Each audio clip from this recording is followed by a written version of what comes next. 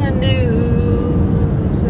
I'm leaving today.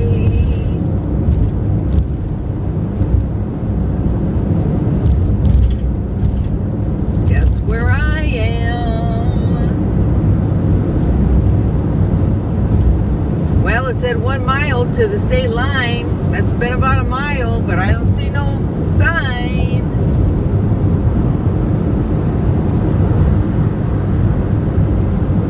If I can make it there, I'll make it anywhere. It's up to you, New York, New York.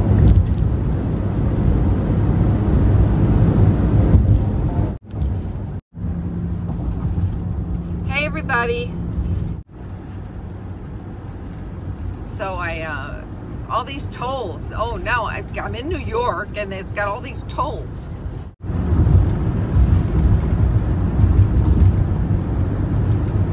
The iPass is recognized in Illinois, uh, from Illinois in New York and in 15 states up here in the east, northeast area. And, um, yeah, so that's pretty cool. I don't have to worry about it. The road is really, really bumpy in the right-hand lane from all the trucks.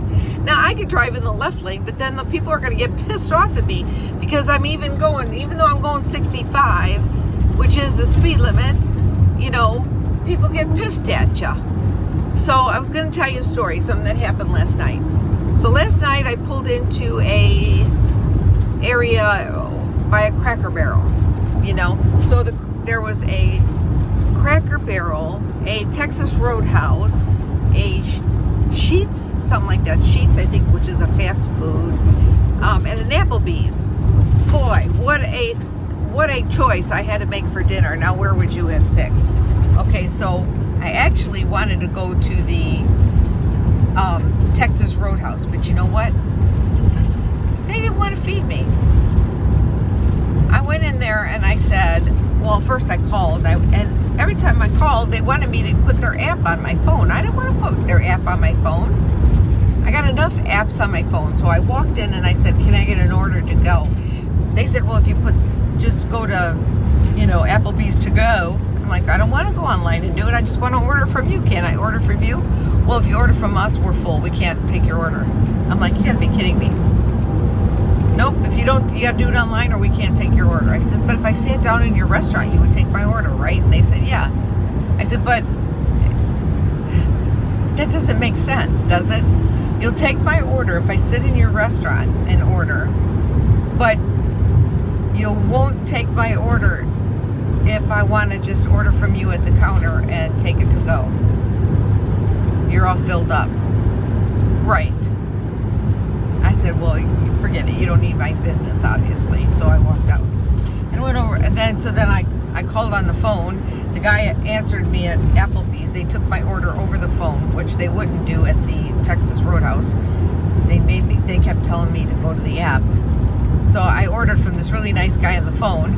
I went across the street. The manager was really cool. He kept saying my name like I, like he goes, you know, there's a movie, you know, Poltergeist that keeps saying Carol Ann or something like that, which I laughed. I said, you know, I've never seen Poltergeist, but my son, that was one of his favorite movies, I guess. But anyway, so um, he got me my order like that quick because I had a taste for like barbecue ribs. They had like a half a rack of ribs for $13 and I won 20 bucks on the a scratch off. So I had ribs. Cost me five bucks for the ticket I won 20 so that was a freebie. and um, anyway, they're really good. And I got smashed garlic potatoes um, and broccoli. So I just walked over to there and got it. But then, bef just before that, in the parking lot, there's this big empty lot that I parked in at that was behind the Cracker Barrel and the Texas Roadhouse. When I was sitting there for a few minutes deciding what I was going to do after I walked Danny, I saw something sitting in the parking lot after this guy had pulled away. So there was this guy sitting in the parking lot talking on the phone and he had a um, he was a truck driver driver, but he didn't have a container on the back of his semi. He just had his sleeper truck, you know, just the front end, his tractor. And um, it was a he was an over the road driver, obviously, because he had the sleeper cab on, you know. And he was sitting on the curb talking on the phone. Then he got in, in his truck and he drove away. And at first I didn't notice it, but then when I was walking Danny, I said, oh my God, there's something sitting on the ground over there. I said, it looks like a wallet. So I go over there and it was a wallet. I thought, well, maybe it's not his. I mean, he should have saw it. It was sitting right there. I mean, why would he not see his own wallet? You know? So I picked it up and it was a wallet and I looked inside it and it had a couple of dollars in there, just singles. And but it had his CDL driver's license or a CDL driver's license. I'm, I'm guessing it was his CDL driver's license. It had a passport card, you know, the not the not the passport book, but the passport card, so that if you go to Canada or you can use it for Canada or Mexico uh, to go over the border. So you have the passport card when you go flying instead of having that. Um, the star driver's license. So the passport card and a social security card and it had his ATM card or his bank card. So I was like, oh my gosh. I mean, this poor guy is going to go to get gas and he's not going to have his ATM card to pay for his gas. You know, and it, he's a, a couple dollars that it was in his wallet I mean, I think there was only three or four bucks in there. I didn't even count it, you know, because I, I didn't even bother to look at how much money was in there. But I could see that they were only dollar bills, like three or four dollars. Tens or fives or anything. So I thought, oh my gosh. Now I remember about two months ago, or three, two months ago or so, I dropped my ATM card back home in Illinois, and a real nice guy took and walked it into the my bank branch and reported it. But I had already realized it. I realized like within half an hour that I must have dropped it when I was getting a propane fill up. And um, I immediately stopped it, reported it to my bank, and went in there the next day and got a new card. So uh, it was Sunday, so you know there was nobody to talk to. I couldn't go to a bank branch, so I looked around you know, and I, I, was like, gee, well, maybe he's at one of these hotels in back of me. Well, I didn't see his truck there. And I figured, well, I'll just put it in my car in case he comes back and uh, realizes it's didn't come back. And then this morning I got up and I got in my car and I almost, I just totally forgot about it and got on the road. And then I stopped and I think, oh shit. Yeah, I forgot about this guy's wallet. So I figured I would just go into a Chase Bank and talk to the people there and ask them if they can mail him, you know, mail his wallet with all those, you know, important documents. Because if I were to take it to, honestly, you know, I'm a retired police officer. And this is not at all talking bad about law enforcement. But if I would have given it to the nighttime police officer, they would have dropped it in the evidence locker as found property and it would have sat in there un until somebody called. And this guy wouldn't have known where to call for his property because he wouldn't have known where he lost it at. And the people in the evidence room aren't going to try to track him down. They might send a letter to him. And if he doesn't live there anymore, he's not going to get that letter and he's never going to get notified. You know, they get thousands and thousands of pieces of found property. You know? So, I called, I did call the bank. However, there is not one bank branch in the area I was in. So I told the lady, I said, this is my email. if you're able to get to call this man, give him my email, I would be more than happy to put his, I'm sure he's canceled his card by now. I would be more than happy to put his important documents in the mail and send it to that address on his driver's license if that's his address, his current address. Or any address he wants me to mail it to, you know, because the bank's probably got his address. You know, I'll send it to his address. I says, I have my an account with the same bank. I'd be more than happy to send it to that address. If, or if you if you want to call me back, have the if the bank wants to call me back and tell me what address to send it to, you know, whatever. Or when I get to my next destination, they do have a bank branch there, and I will just walk into a bank branch and give them the whole wallet, you know, because I'm sure they've canceled his ATM card. But it's like, oh my gosh, could you imagine if he stopped to get gas and maybe he's stranded someplace and that was the only way he could, the only card he had to buy gasoline with in that big truck, you know? I feel really bad because I know if it was me, you know, that's why I don't put all my apples in one basket. So hopefully I'll hear from them, from the bank, or get an email or something. And we can get this stuff back to them. So, back to travels.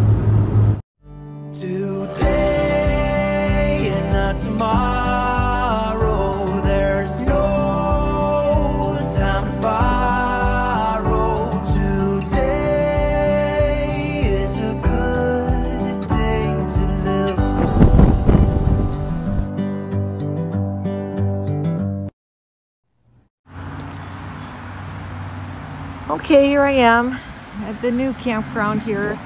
It is Niagara Falls Campground and Lodging. It's very little. It has a built-in pool. Nice little pool. Water's cold though. The lady says water's still cold.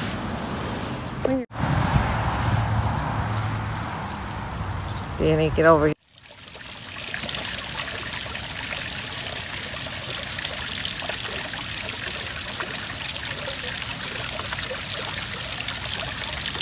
Makes you have to pee, doesn't it?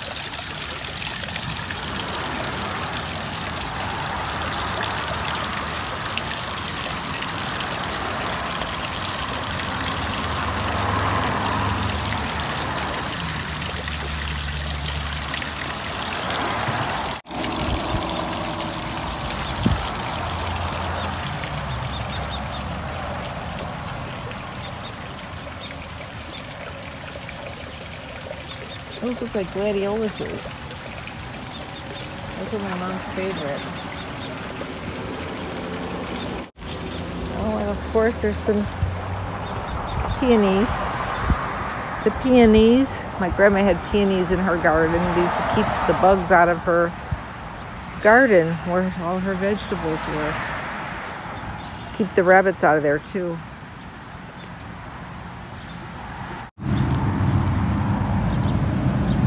Okay, here's the showers.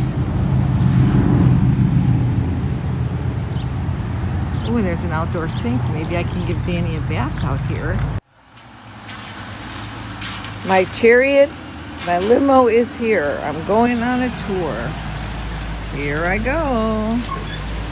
There, overturned, six people died. Now there's California. We started at the Whirlpool Flats.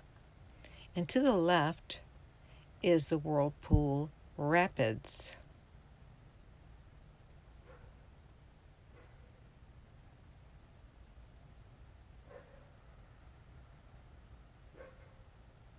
Beautiful, isn't it? Look at how clear and beautiful and bluish green those waters are. They're absolutely gorgeous.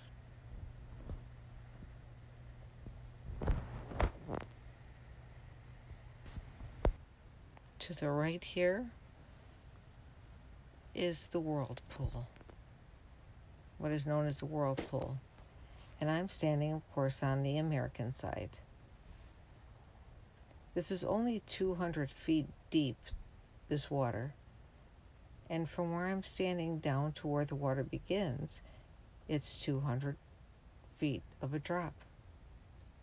Directly across from me is Canada. Yes, Canada.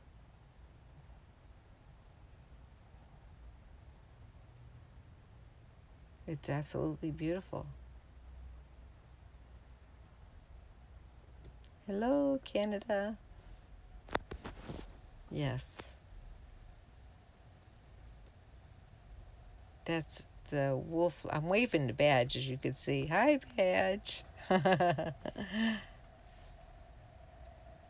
it's a lodge right across there.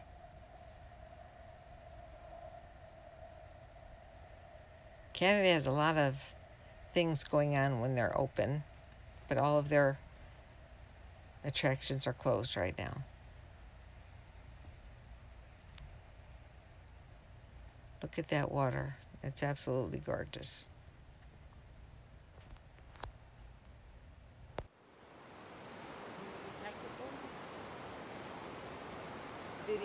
I'm doing video. Thank you. Now, everybody wants to know how high the falls is. I can't answer that in just one simple number. That's because being a tour guide, I have to have, and I'm also a tour guide over in Canada, I have to have a tour guide license for the US and Canada. I've got to go and write a test every year to show that I have the knowledge of the area. Over in Canada, the Canadian falls 190 feet high, the American falls 185 feet high. On the American test, the American falls 190 feet high, the Canadian falls 185 feet high. Really, I swear to God, you, and you have to remember that to get them questions right. So what I do, I tell everybody, I take them two numbers, add them together, divide by two. I tell everybody the Canadian Falls, American Falls are exactly the same height at 187 and a half feet. That's my story, and I'm sticking to it. This bridge you're seeing now is called the Rainbow Bridge. So to come on this tour, we started out at up on top of that structure on that bridge.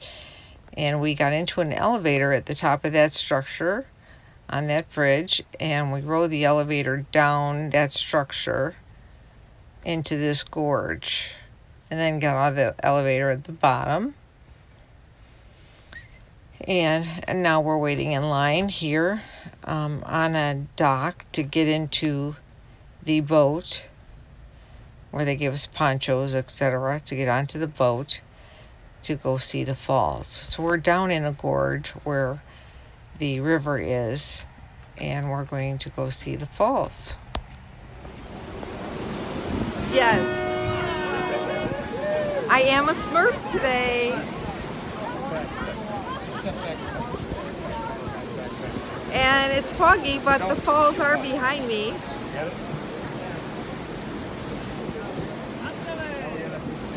Have you seen her? The rebel girl in action in Niagara Falls City. Okay, now you're seeing the bridal falls to the right of the American. The American are to the left and the bridal are to the right. Now over here to the right over here, those are the horseshoe falls. The horseshoe falls. 어?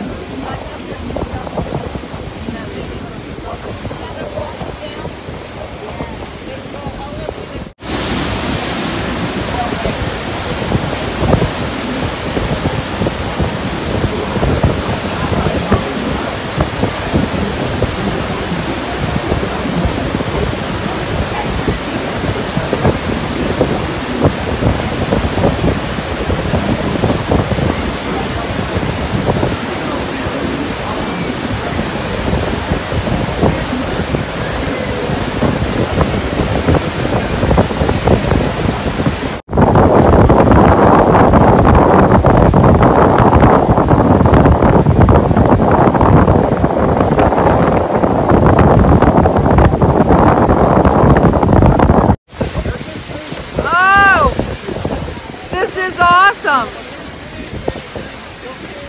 That is Horseshoe Falls behind me.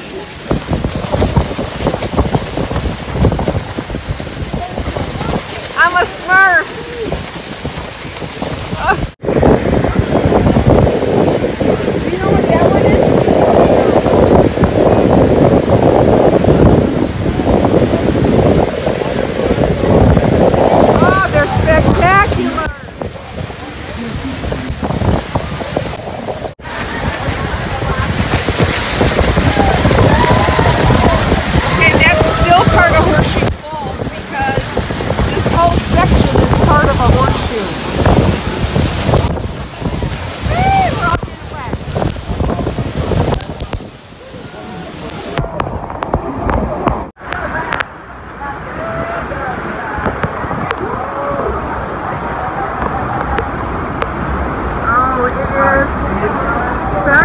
spectacular, spectacular.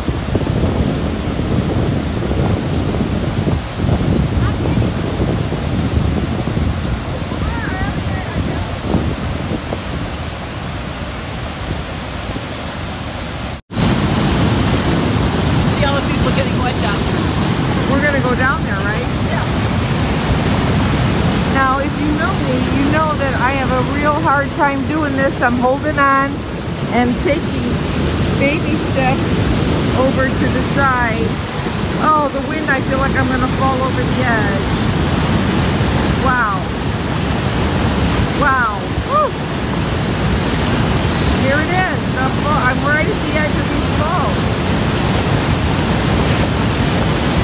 In my video, you might have saw these people in yellow. So freaking cool. Look at how clean that water is. You can see the rock underneath.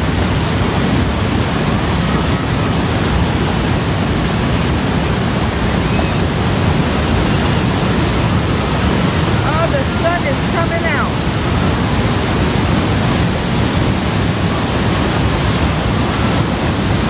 Oh my God, look at that.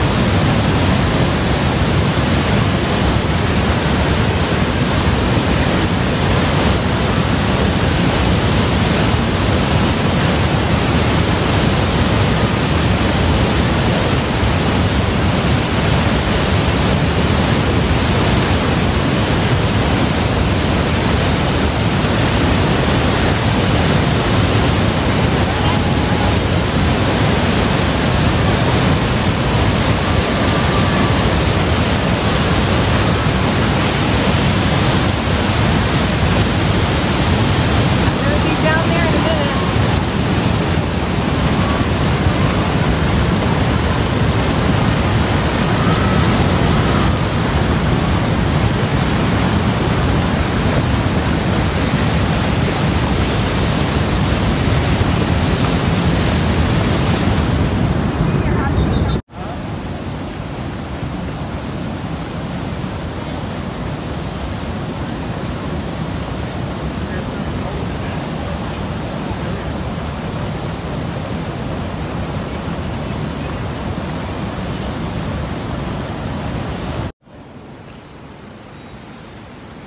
Goat Island. This is what this is. Goat Island.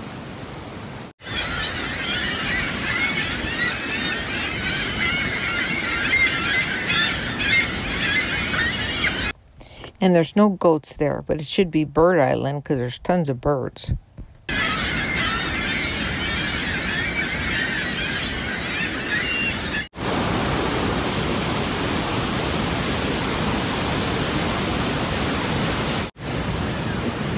And hello, Canada. Hi, Veg.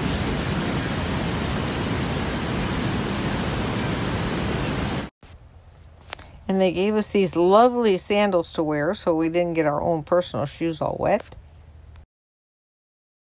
When we wake, hear the birds and see the sun. Side by side, our fears are done. Oh, the good times just begun.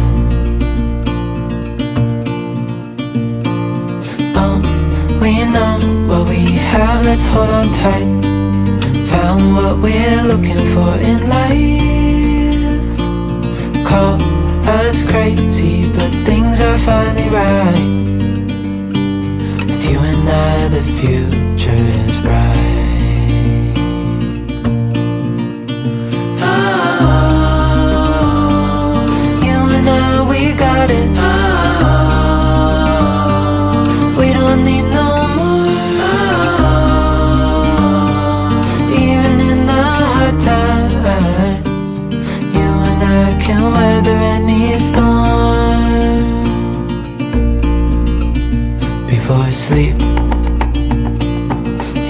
Crickets, see the moon. Side by side and through and through.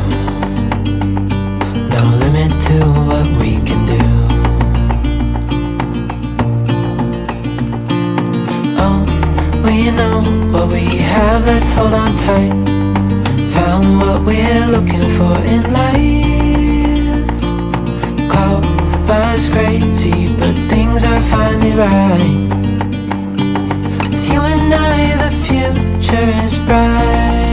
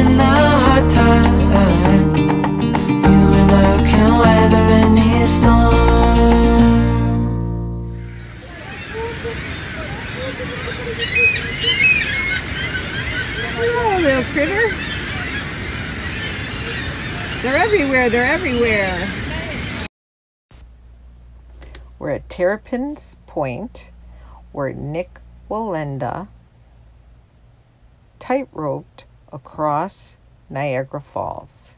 He started right here, where you're seeing now. Well, actually a little bit further back. But then he walked across Niagara Falls from the American Falls right here across to the Canadian Falls. You'll see me pointing across. And he did have to have his passport. When he got to the other side, there were agents standing there waiting for him to check his passport.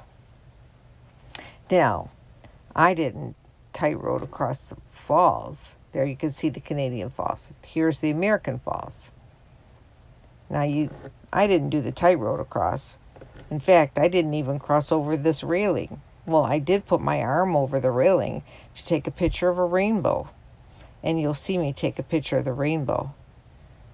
And somehow my phone must have went into the Canada side because I got this text message telling me, Welcome to Canada. And I didn't show him my passport. Isn't that funny? So shortly here, you're going to see that. Look at that rainbow. Isn't that beautiful? So I tried to get a picture of the rainbow with my face in it, but it didn't quite work out. But it was beautiful. And by this time of the day, it was absolutely gorgeous. It sure was. This was a fascinating, wonderful, outstanding experience. And I had a really great, great time, and I'm so glad that I did this. I've been wanting to do this for several years now. It was just phenomenal. If you have this opportunity, do it. There's me trying to get the rainbow in a picture with me from down below. I hope you enjoyed my video. Thanks for joining me. I know it was long and I hope you made it all the way to the end.